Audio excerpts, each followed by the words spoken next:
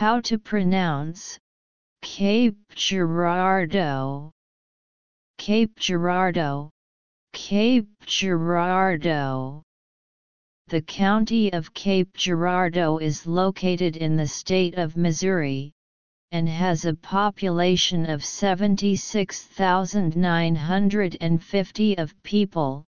How to pronounce Cape Girardeau Cape Girardeau Cape Girardeau The county of Cape Girardeau is located in the state of Missouri, and has a population of 76,950 of people. Thanks for watching this video and remember, thumb up.